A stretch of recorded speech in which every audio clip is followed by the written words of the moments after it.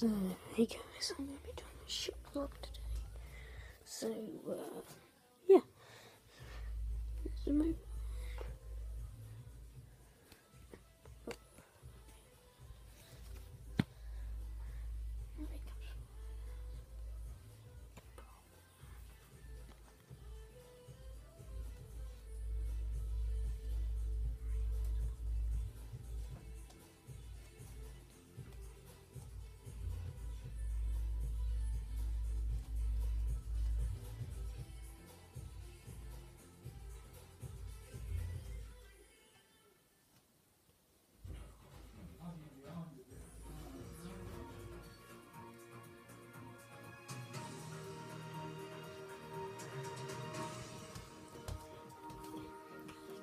Hello, good evening, and welcome to BBC News.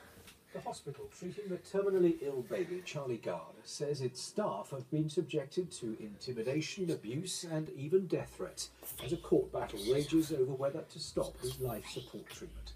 The hospital's chairman, Mary MacLeod, said that Charlie's case is a heartbreaking one, and she understands that emotions are running high. But she said that there can be no excuse for such behaviour. So, there's enough for today, guys. details in a Bye. In which she said, in recent weeks, the community of the hospital has been subjected to a shocking and disgraceful time.